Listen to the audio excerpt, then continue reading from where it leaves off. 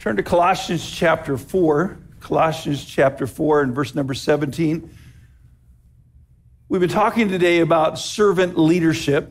And um, one of the things that I think has happened during the whole COVID uh, situation is that we have lost opportunities for fellowship and other things that we have. I'm, I'm looking forward to when we don't have to wear the mask when we sing in just a couple of weeks here. And I'm looking forward to more people getting back into church. But uh, we've lost that fellowship. And that's one of the reasons we're having this week coming up where we're really encouraging you to get back together.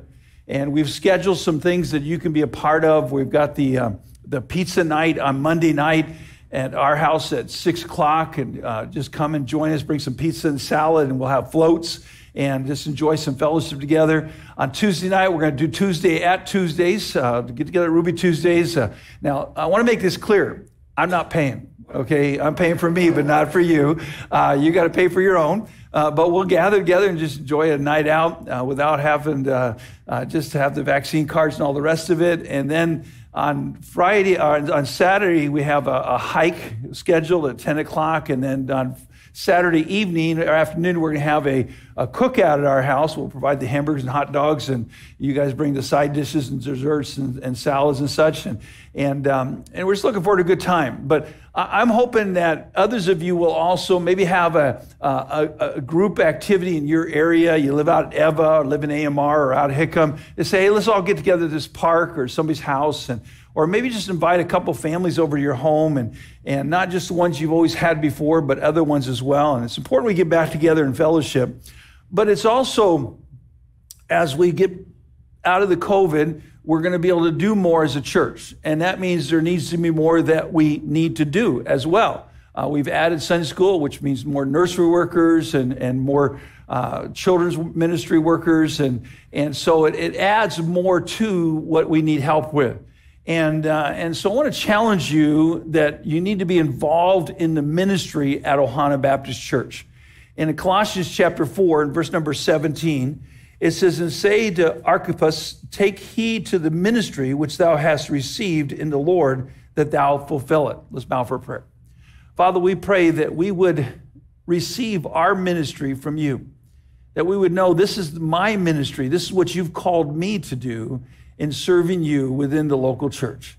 And as we have an opportunity now to expand our ministries and to open up new doors of opportunity, that you would help each person here tonight and those watching online as well uh, to commit to be involved in the ministry, to find out what your calling is for them. And as we get involved in the ministry, that we would use that opportunity to serve one another as well. So we pray that you bless this message tonight as we study your word. For it's in Jesus' name we pray. Amen. And we say to be involved in the ministry. What we're talking about is just an opportunity to serve the Lord. And there's many different ministries that you can be involved in at Ohana Baptist Church. Uh, and every one of them is important. Every one of them is significant. In 1 Corinthians chapter 12 and verses 14 through 24, the Bible uh, the, the, uses the illustration of the, the church is like a body and every part of the body is important. We sometimes think, well, this part is more important than the other part. Uh, if you want to know how important uh, different parts of your body are, try hitting your little finger with a hammer sometime, and you'll find out how very important your little finger is. And um, every part of the body is critical. Every part of the body is important. And sometimes we get this idea that that my ministry is a mini ministry. In other words, it's no big. I just work in the nursery, or I, I just help out in the office, or I, am just a greeter, or whatever else it might be. But there is no mini ministry.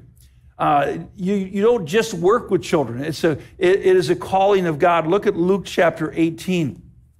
Our children's ministries are, are very important. Our children need people that are committed to them, whether it is in the nursery or it's in the children's classes or wherever else it might be. In Luke chapter 18, verses 15 through 17, the Bible says they brought unto him also infants that he would touch them, but when his disciples saw it, they rebuked them. But Jesus called them all, called them unto him and said, Suffer little children to come unto me, and forbid them not, for such is the kingdom of God.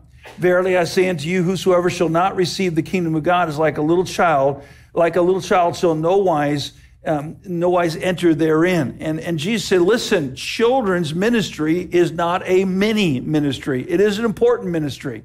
And we need to provide a ministry to the, to the babies in the nursery where they have someone that's going to take care of them, where the parents can come and, and sit and listen and not be distracted, where other people are not distracted by them.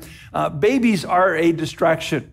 Uh, not just when they cry, uh, but even when they're cute. There's many times I'm standing up here preaching, and uh, there's somebody sitting behind a lady with a baby, and she's got that little baby on her shoulder, and the person behind them, instead of listening to my message, they're going, making faces at that baby and paying attention to the baby, and they're not paying attention to me because babies are cute and uh, and they can be distraction. And what a blessing it is when we have people that are committed to ministering within the nursery. And then the children's ministries where the kids can go and learn the Word of God and be taught uh, about the Bible. I was talking to, Pastor, uh, to Brother Jerome tonight, and in charge of our children's ministry, and he's looking for material that can teach these kids doctrine. He says these kids are smart and, and they want to learn, and I want to teach them doctrine. I don't want to just teach them the Bible stories. I want to teach them the Bible, the Word of God. And, and it's an important ministry that we have with children. It's not a ministry ministry, mini ministry. How, how many of you got saved as a child? Raise your hand. How many got saved as a child? Look around. It's a lot of people. And, and it's a great opportunity to reach them for Christ in their early uh, years, in their years where they're tender to the Lord. And sometimes we think, well, I just work with children, or I just work in the office. In 1 Corinthians 14 40, it says, Let all things be done decently and in order. In verse number 33, it says, For God is not the author of confusion, but of peace, as in all the churches of the saints. And uh, there's, a, there's a big administrative process involved in everything we do, and there's a, there's a technical need that is there, and it takes up a huge portion of our time. And when people are willing to volunteer to help out and to be working in the office and to help out with uh, busy work that might seem like it's not important, but it is, it makes a difference. Or maybe you think, well, I'm just a greeter. Uh, the greeter ministry in Psalms 84 and verse 10 is for a day in thy courts is better than a thousand. I'd rather be a doorkeeper in the house of my God than to dwell in the tents of wickedness. Uh, what a blessing it is to be someone who's the first one to greet a visitor. I, I can't tell how many times that I, I, I, followed up on somebody visit the church, and how many times they'll say, "Well, that that person that was down there at the table greeting me, or the person in the welcome center, uh, just made me feel so welcome." and, and what an important what important ministry it is. Most people decide on a church in the first three to seven minutes that they're on that property. Long before they hear the pastor preach, long before they hear the, the, the, music, long before anything else happens, they've already decided if this is the church for me by the greeters, by those who welcome them. It's not a mini ministry. Uh, sometimes we think, well, I just work in the sound room or I just work in the production or, or, the videos and, and all of that. But that is so important. Romans 10 17 says, faith come by hearing and hearing by the word of God. If, they can't hear what I'm preaching, then it's not going to change their lives. Whether it's here in the auditorium or whether it's uh, somewhere out there on in virtual land, it is so important that we have uh, a, a good presentation of the word of God. Or maybe you think, well, I just sing on the worship team. In Second Chronicles chapter 20 and verses 21 and 22, it says, And when he had consulted with the people, he appointed singers unto the Lord, and that should praise the beauty of, his, of holiness as they went out before the army, and to say, Praise the Lord, for his mercy endureth forever. And when they began to sing and to praise the Lord, praise, the Lord set ambushments, and they were smitten. You know, you, if you're like me, you've probably been watching what's going on in Ukraine and how they're, they're fighting the invasion. And I saw the other day that there was a group about four or five of the opera singers that were out there in the street and they were singing the Ukrainian national anthem. And can you imagine if they went to those opera singers and said, listen, we're getting ready to go fight against these tanks here, and we want you to lead the way singing?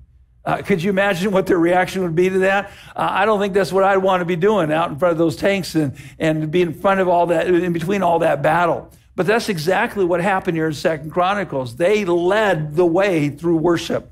And uh, the music team leads the way in worship. And, and they're so critical and so important. And I want to challenge you that whether it's the sign waving ministry, whether you come down and work on the building, or, or whether you're involved, whatever ministry you're involved in, there is no mini ministry. Every ministry has an impact, every ministry makes a difference. And what you need to do is you need to find out from the Lord what is your ministry. What is it that God wants me to do here at Ohana Baptist Church? And, and to find that ministry where you can serve the Lord. Because nothing is small when God is in it. Zechariah chapter 4 and verse 10, it says, For who hath despised the day of small things? What had happened is they had built the original temple and then it was, it was destroyed and they decided later on to rebuild the temple, but it, it, was not as big and as beautiful as the original temple. And a lot of the people remembered that original temple. They, they wept because they remembered the beauty and the grandeur of it. And, and, and God said, Listen, there's nothing small with God. It's not the size of the temple, it's the size of our God.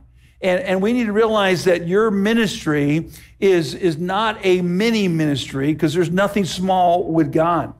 Your ministry is only as small as your vision.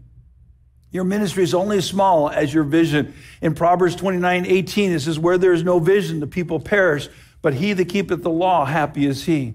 I, I want to challenge you to ask God to give you a vision for your ministry. And, and when you become a part of that ministry, whether you're teaching the children, whether you're out sign waving, whether you're uh, helping out in the nursery, or whatever, to ask God, say, God, give me a vision. Help me to see this as the great opportunity to serve you and to serve others as well. Small people make for a bigger God. In John chapter 3 and verse number 30, it says, He must increase, but I must decrease. It's not about how big we are, it's about how big our God is and the impact that we can have in serving our Lord. And what we need to do is we need to do our best, and God will do the rest. As we've been preaching through these values that we have as a church, one of the challenges we have is that we do everything with excellence. We do everything to the best of our ability before the Lord, to give our all to the Lord. In Colossians 3:17, it says, whatsoever you do in word or deed, do all in the name of the Lord Jesus, giving thanks to God and the Father by him. In verse number 23, and whatsoever you do, do it heartily as unto the Lord and not unto men. You know, when I go out there sign waving, I want to give my best to the Lord. When, when I'm up here preaching, I want to give my best to the Lord. Whatever you're doing, whatever ministry you're involved with, you ought to want to do it to the best ability that you have for God's glory. And when we're serving the Lord to our best ability, God will do the rest. He'll do amazing things. There is no mini ministry. Nothing is small when God is in it. Go over to Romans chapter 15. Romans chapter 15. With ministry, you and I need to raise the minimum standard. Uh, right now, the legislature are talking about raising the minimum wage. You know, it's going to go up. Well, we need to raise the minimum standard. In Romans chapter 15, verses 1 through 3, it says, We then that are strong ought to bear the infirmities of the weak and not to please ourselves. Let every one of us please his neighbor for his good to edification. For even Christ pleased not himself, but is written, The reproaches of them that reproach thee fell on me. See, we need to realize that, that God wants us to give our best as unto Him. He wants us to, to raise that standard. Uh, one of the things that we as a church need to always be doing is saying we can do better. We can do better. The Bible talks about loving more and more. Uh, and everything we do, we can always do better. We can always do more. And we want to, we ought to want to do our best for the Lord and to be that minimum standard that everybody else has to rise to. In Philippians chapter 2, turn over there with me if you would. Philippians chapter 2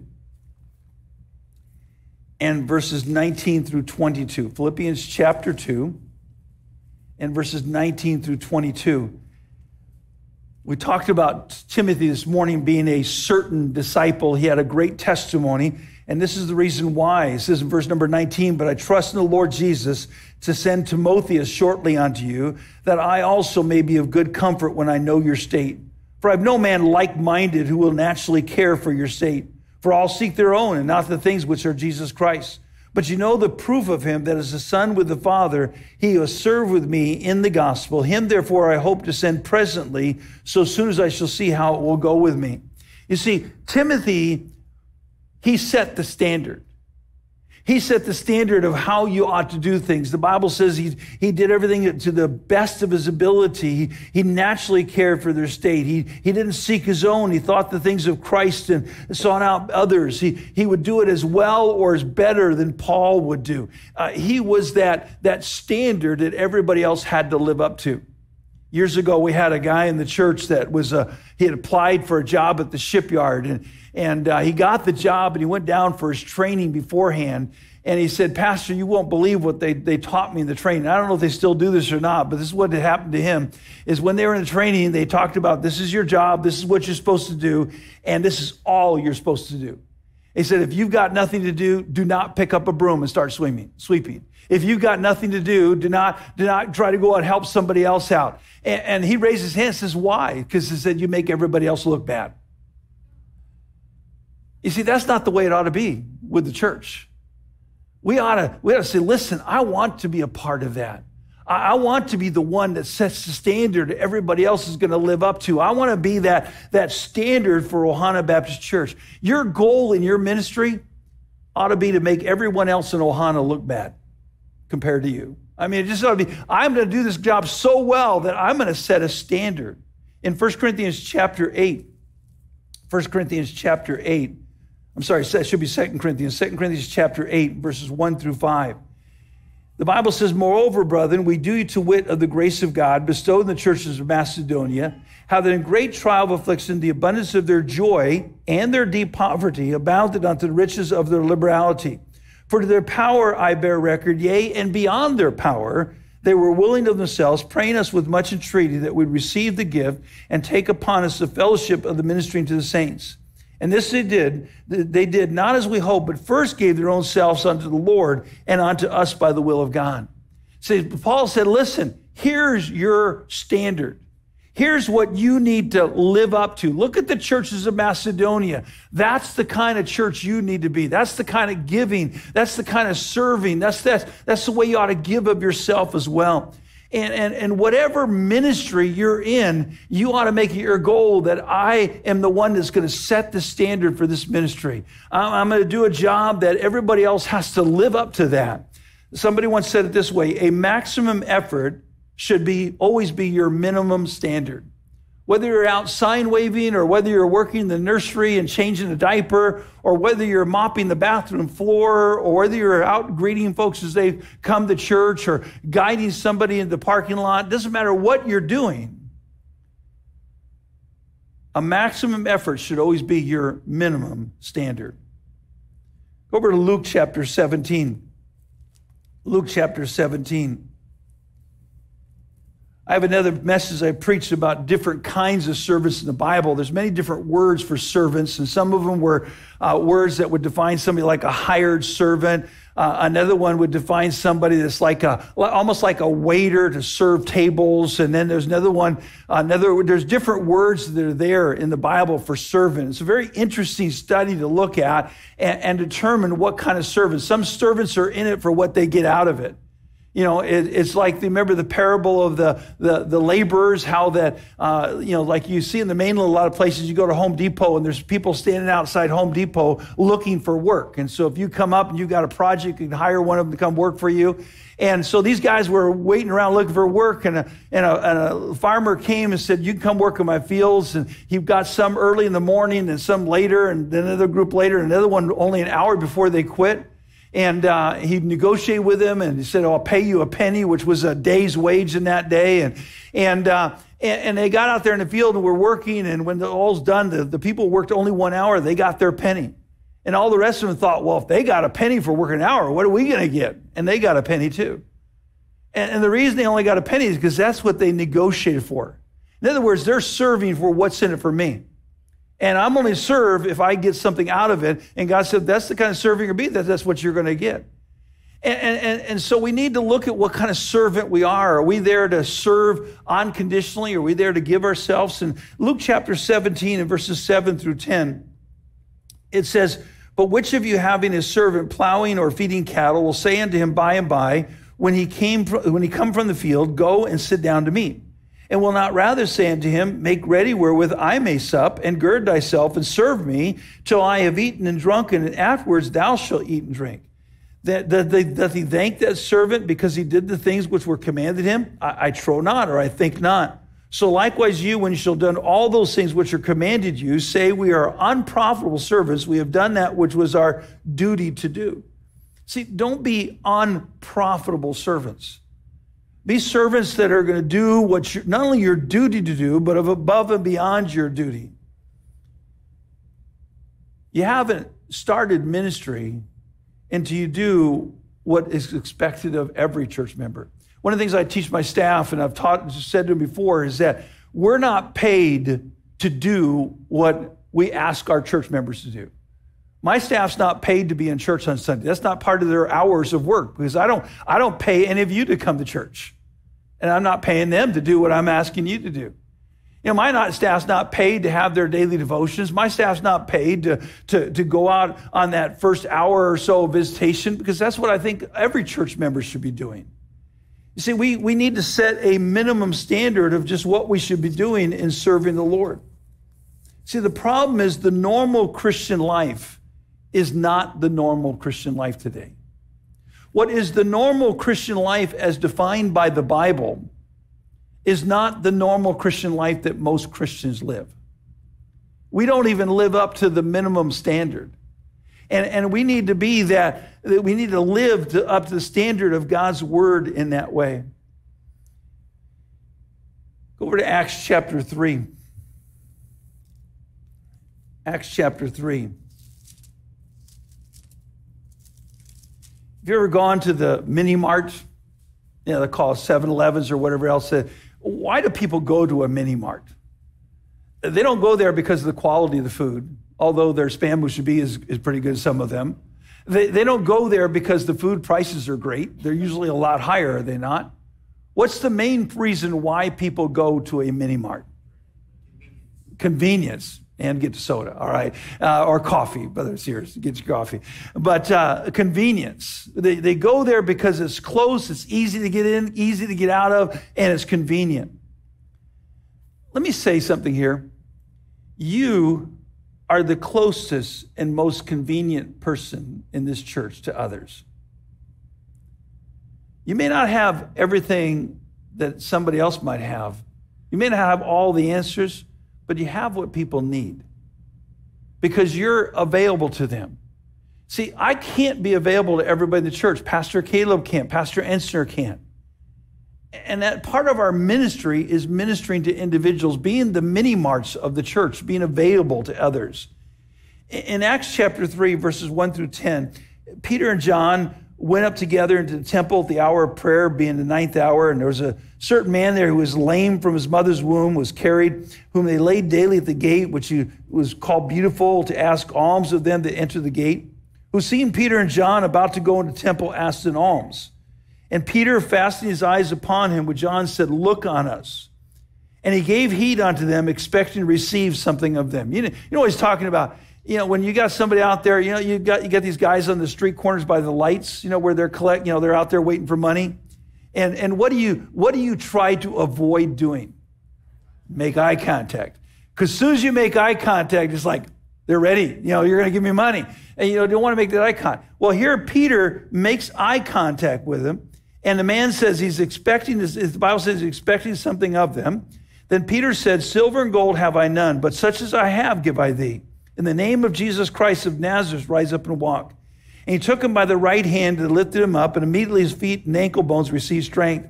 And he, leaping up, stood and walked and entered with them into the temple, walking and leaping and praising God. And all the people saw him walking and praising God, and they knew that it was he which sat for alms at the beautiful gate of the temple. And they were filled with wonder and amazement at that which had happened unto him. See, what you and I need to do is to give people what they need. And people are looking to you expecting something. And each of you, we're, we're having this get back, get back together week. And my wife and I have been talking about we're going to have one night, we're going to have people over for pizza. We're going to have another night, we're going to have over for a cookout. And we're planning to be there for Ruby Tuesdays and all. But you know what? We just can't do it with everybody. We can't be there. We need each of you to realize that there's people that are looking to you to greet them, to welcome them, to invite them into your home, to reach out to them. to minister to them, to be the mini marts of the church where you're accessible. See, ministry, right there in the center of ministry, is the I. The I of ministry, which means personal possession or ownership.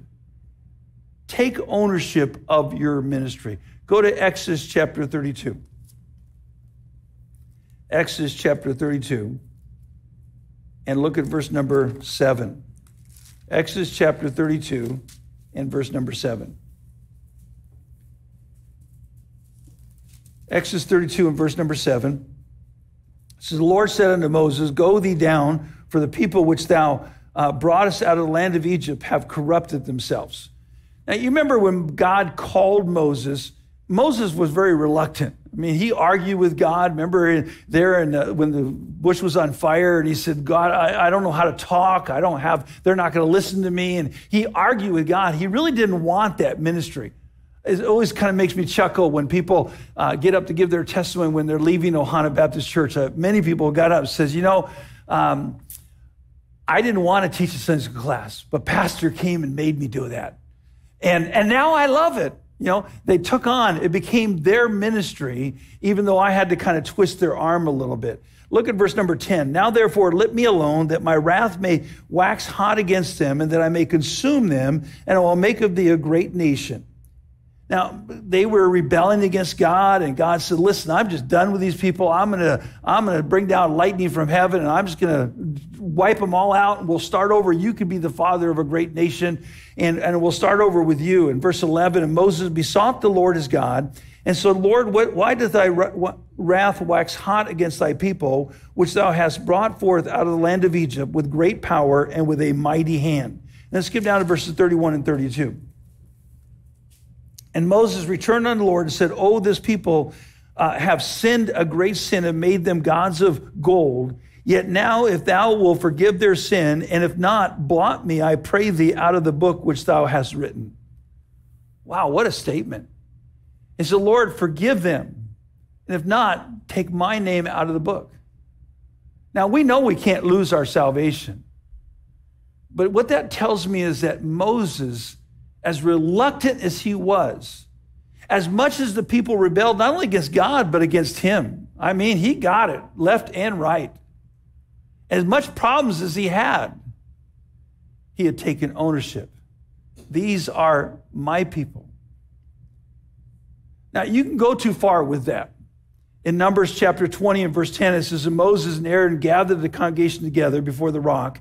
And he said unto them, Here now, you rebels, must we fetch you water out of this rock? Now, who was it that brought the water forth in the first place? It was God. And, and you can get to the point where you think this is my ministry and we forget that it's God's ministry. And I don't want you to do that. But at the same time, God wants us to take ownership. You know, as your pastor, I talk about God owns us. In 1 Corinthians 6 19 20. What? Know you not that your body is a temple of the Holy Ghost, which is in you, which you have your, which you have. Uh, just I missed it. Go to 1 Corinthians 6, 19, 20. If I misquoted to start with, I can't get it back right there. So let's get back over there. 1 Corinthians chapter 6, verses 19 and 20. It says, What? Know ye not that your body is a temple of the Ghost, which is in you, which you have of God, and you're not your own, for you're bought with a price. Therefore glorify God in your body and your spirit, which are God's. See, God owns us and we ought to give him our best. We looked at Colossians chapter 3. What's there to do? To hearten the Lord, to give your best unto the Lord. In 1 Corinthians 16, 15, it says, I beseech you, brethren, you know the house of Stephanas, that is the first fruits of Achaia, that they have addicted themselves to the ministry of the saints. You know, you think of the word addiction, you, you can't live without the alcohol or the drugs or the tobacco or whatever else it is. And here's a man that said, I cannot live without serving the Lord. I'm so thankful for people that addict themselves to the ministry and say, This is my ministry, and I, I don't want to go a week without doing this. I, I, this is what God's called me to do. But here's the interesting thing God said, I'm going to destroy the people. And what did Moses say? Don't. Now, as your pastor, I, I, I want you to obey the Lord, right? But you know, there's times that even God doesn't want you to obey him. Let me give you some examples. In 1 Corinthians, I'm sorry, in, in Exodus chapter 32, we look at Moses and he said, Lord, if, if you're, you know, you're going to kill these people, then take, take away my, blot my name out of the book which thou hast written. In Jeremiah chapter 14, verse 11, the Bible says, Then said the Lord unto me, Jeremiah, pray not for this people for their good. You know what Jeremiah did later on in that same chapter? What did he do? He prayed for him. God said, Don't pray for him. And what's Jeremiah do? He prays for him. He, he didn't obey God. In, in Luke chapter 13, the, the Lord said, Hey, that tree that's not bearing fruit, cut it down. What's the dresser of the field say? Give me one year. One year to dress it, to, to fertilize it, to dig out the weeds and to water it and see if I can get to produce fruit. In Matthew chapter 9, verses 31 and 30 and 31, it says, And their eyes were open, and Jesus straightly charged them, saying, See that no man know it. But they, when they were departed, spread abroad his fame to all the country. God said, Don't tell anybody. And what do they do? They go and tell everybody. God tells us, Go tell everybody. What do we do? We don't tell anybody. 1 John chapter 5, verses 16 to 17. If any man see his brother sin, a sin which is not unto death, he shall ask, and he shall give him life for them that sin not unto death. There is a sin unto death. I do not say that he shall pray for it. All unrighteousness is sin, and there is a sin not unto death. Now, the sin unto death is a sin, I believe, where somebody can sin to the point that God says, you know what? Enough is enough you're coming to heaven right now. And God, because we can die early because of our sin, and God takes us home to heaven. And there's a point where somebody can cross a line, and no matter how much you pray for them, nothing's going to change in that situation. But you know what? I think most of us give up way too easily. We stop praying for that unsaved friend or relative. We stop praying for that person that's away from the Lord. We give up on them. I was talking to somebody today and they got saved uh, when they were a young man, I think around 21 years old, and was faithful in church serving the Lord. But then some things happened in his life and he got away from the Lord. But now he's back. And I thank God for people that don't stop praying. God said, don't pray for them if they've committed sin unto death. But you know what? I don't know when that point, when they cross that line. I don't know when it's too late. So why stop praying for them? You see, you got to take ownership. And sometimes taking ownership, I don't want you to disobey the Lord. That's clear. But in every one of these cases, they contradicted God, and God didn't judge them for that. Maybe He's using reverse psychology. I don't know. But we need to stay faithful. You can go out sign waving for weeks and see no results. Some days you go out there, and if sign waving is the same as I, I feel like one of those beggars out there. Nobody wants to make eye contact. It's, it's fun when you're sign waving because you're out there waving to people. And my goal is to get them to wave back. And there's some people right away they see they're waving away because that's their personality or they're glad to see a church out there. But then there's other people that they're driving down the road and they're trying not to look at you. And I found this if I can make eye contact, they have to wave. It's like that reluctant, okay. You know, it's like I got to do it. That makes it fun for me. I, my challenge is, I'm, I'm going to get that guy to wave at me, you know, and, and, and get him to respond back. You know, why not? You see, we're so reluctant to serve the Lord, but there's so much we can do to serve God. And just making it our goal in that way. Ownership doesn't mean you have all the answers or all of the responsibility. But it does mean you need to take that ownership and responsibility. You know, when you're on a ship, it's either sink or swim. And we need to realize that this is my ministry. This is what God has called me to do. And so I need to fulfill that ministry. I need to be addicted to that ministry. I need to do that ministry so God could write about me like he does about Timothy, that does a as good or better job than I could do. And I need to do my best in that ministry to make it work. You know, you've all seen the poster, there's no I in team. In Philippians chapter 4 and verse 2, it says, I beseech Euodias, I beseech Syntyche, they be the same mind in the Lord. We started a project many years ago called the Hukilau Project, and our goal was to help start 10 new churches in 10 years. You know what that basically we did? We started competition. Because now there's more churches for people to go to than just Ohana. But we're not in competition, we're in cooperation. And the same thing is in the church. We're not in competition, we're in cooperation, we're together. You notice in Syntyche, they, they'd gotten this irritation, this problem between them, and who did it, what did it affect? It affected the ministry of the church. You know, there is an I in Christ. And let this mind be in you, which was also in Christ Jesus. And there is an I in His. And what you need to make sure is I am right in the center of the Holy Spirit, His. Ephesians 5:18, be not drunk with wine or sex, but be filled with the Spirit. What we don't need is we don't need the eye of pride. Proverbs 16, 18, pride goes before destruction, a haughty spirit before fall. It's not about me getting all the credit. It's not about everybody seeing what I am doing. And we don't need the eye of sin. Ephesians chapter 4 and verse number 30. Ephesians chapter 4 and verse number 30. The Bible says, And grieve not the Holy Spirit of God, whereby you're sealed on the day of redemption. Second Thessalonians 5:19, quench not the spirit. We need to be we Christians. I've showed you this before, but go to Acts chapter 16. One of the things I love about reading the Bible is, is you can look for all the little nuances, all the, the little things that can change the story and open it up to you in so many ways.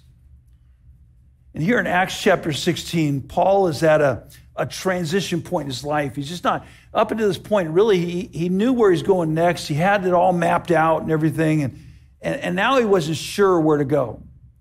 In Acts chapter 16 and verse number 6, it's now when they had gone throughout Phrygia and the region of Galatia and were forbidden of the Holy Ghost to preach the word in Asia, after they were come to Mysia, they essayed to go into Bithynia, but the Spirit suffered them not. And then I want you to go down to verse number 10. See the subtle difference here. And after he had seen the vision, immediately we endeavored to go into Macedonia, assuredly gathered that the Lord had called for us to preach the gospel unto them. Up until that point, it was about they, they, they. But then it changed to we. And Luke said, This is not just Paul's ministry, this is my ministry. I want to be a part of this. And, and we need to be we Christians. This is our church. This is our ministry. This is our opportunity. And we ought to have that heart. Ministry ends with the word try. Go over to James chapter 1. I'm going to tell you right now if you get involved in the ministry, you're going to, you're going to have trying of your patience. Working in the nursery, that will try your patience. Working with children, that will try your patience. Working with other people, that will try your patience. In James chapter 1, verses 2 through 8, my brother, count it all joy when you fall in diverse temptations, knowing this, that the trying of your faith worketh patience. But let patience have her perfect word, that you may be perfect and entire, wanting nothing. If any of you lack wisdom, let him ask of God to give it to all men liberally, to break not, it should be given him. But let him ask in faith, nothing wavering, for he that wavers like the wave of the sea, driven with the wind and tossed. For let not that man think that he shall receive anything of the Lord. A double minded man is unstable in all his way. I have found that some of the greatest times of growth in my life have been the times when my patience was tried. And that'll happen in ministry. You get frustrated. Working with volunteers is tough because you have nothing to hold over the head. If, you, if I pay you a paycheck, I don't have to pay you if you don't do your job. But volunteers, you don't have that luxury. And it's trying sometimes working with other people and trying to coordinate things together. And people will try your patience. Look at Exodus chapter 18, verses 18 through 20. Exodus chapter 18, verses 18 through 20. Thou wilt surely wear away both thou and this people that is with thee, for this thing is too heavy for thee. Thou art not able to perform it thyself alone. Hearken now unto my voice. I will give thee counsel, and God shall be with thee. Be thou for the people to Godward, that thou mayest bring the, their causes unto God. And thou shalt teach them ordinances and laws, and they shall show them the way where, wherein they may must walk, and that the, the work that they must do. One of the problems that Moses ran into is, is frustrations with people. And it is tough working with people. And, and you can blame the people. That's what Saul did in 1 Samuel 15 24. And Saul said unto Samuel, I have sinned, for I transgressed the commandment of the Lord and, I, and the, thy words because I feared the people and obeyed their voice. You can blame the people, they made me do it. Or you can pray for them. In Exodus chapter 32, Moses prayed for the people. In 1 Samuel 12, 23, it says, Moreover, for me, God forbid that I should sin against the Lord in ceasing to pray for you, but I will teach you the good and the right way. Pray for those that you minister to. Ask God to bless them and guide them. Romans 12, 17, 18 says, Recompense to no man evil for evil. Provide things honest in the sight of all men. If it be possible, as much as lieth in you, live peaceably with all men. In other words, in ministry, you just got to try everything you can and seeing how you can reach out to others. Go to James chapter 1. James chapter 1. I always get a little bit in trouble because people don't always understand what I'm trying to say here. But one of the things that I, have learned over the years is that you don't want to try harder in most cases. In fact, one of the greatest reasons for failure is because people tried. And what I mean by that is that we, because we tried, we can excuse ourselves. Well, I tried to get along with him, or I tried to do this and I couldn't do it. And so we excuse ourselves because we tried. And often is, is we, we try and it, we really don't when my kids were little, I'd say, hey, go, go down here and look for this and bring it up here. And they'd come back about a minute later and say, I couldn't find it. Well, did you look for it? Yeah, I tried. And that was their excuse. I, I tell them, go back down there, don't come back up until you find it. There's no trying here. Just do it. Now, again, I know if you jump off the top of the building, you're not going to fly, no matter how hard you try. I understand that. But trying is often an excuse for failure. In James chapter 1, verses 22 through 25, it says, But be ye doers of the word, and not hearers only, deceiving your own selves. For if any be a hearer of the word and not a doer, he's like unto a man beholding his natural face in the glass. For he beholdeth himself and goeth his way, and straightway forgetteth what manner of man he was. You see, a lot of times we don't try. We, we give up. We don't give it our best effort. In Numbers 13 and verse 30, it says, And Caleb stilled the people before Moses and said, Let us go up at once and possess it, for we are well able to overcome it. And we need to realize I can do this. It's hard. Jeremiah chapter 20, verses 7 through 8, O Lord, thou hast deceived me, and I was deceived. Thou art stronger than I and hast prevailed. I am a derision daily. Everyone mocketh me, for since I spake, I cried out. I cried violence and spoil, because the word of the Lord was made a reproach unto me and derision daily. What Jeremiah is saying here, I didn't know it was going to be this hard. 2 Timothy 3:12, yea, and all that will live godly in Christ Jesus shall suffer persecution. It's not always easy. Caleb had to wait 40 years for his mountain before he got it. Go to Luke chapter 9. We're going to close with this in one of the verse. Luke chapter 9. Look at verses 57 through 62. Luke chapter 9 and verse number 57. Luke 9 and verse number 57, it says, It came to pass, they went in the way. A certain man said Lord, I will follow thee whithersoever thou goest. and Jesus said unto him, Foxes have holes, and birds of the air have nests, but the Son of Man hath not where to lay his head. And he said unto another, Follow me. But he said, Lord, suffer me first to go and bury my father. Jesus saith unto him, Let the dead bury their dead, but go thou and preach the kingdom of God. And another also said, Lord, I will follow thee, but let me first go and bid them farewell, which are at my home, at home at my house. And Jesus said, it said, No man having put his hand to the plow and looking back is fit for the kingdom of God. We've got all these excuses. I don't have time this week. You know, it, it, there's 101 excuses for not serving the Lord. We've got to stop trying and say, you know what, I'm going to do this. I'm going to serve God. Philippians chapter 4, verse 13, the Bible says, I can do all things through Christ who strengthens me. So I want to challenge you. What is the ministry that God has called you to fulfill? What's the ministry? And have you addicted yourself to the ministry? You know, I look around this church, and there's people in this church that have addicted themselves. I, I think of the Nordstroms with the four and five year old class, and they've just addicted themselves to it. And they just love that ministry. They fulfilled that ministry in so many ways.